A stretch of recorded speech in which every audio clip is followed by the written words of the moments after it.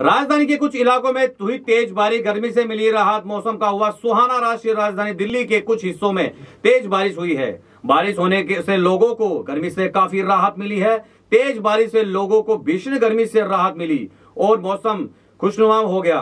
बारिश की वजह से तापमान में गिरावट भी दर्ज की गई है। मौसम विभाग के माने तो 22 जून तक तापमान 38 से उनचालीस डिग्री के बीच वह न्यूनतम तापमान 27 से 29 डिग्री के बीच बना रहेगा। गुजरात में विपर जॉय चक्रवात का असर भी भले ही कम हो गया हो, लेकिन इसका असर दिल्ली एनसीआर के बीच देखने को मिला है। दिल्ली में मौसम का मिजाज बदला। तेज आंधी के साथ कुछ इलाकों में बारिश हुई।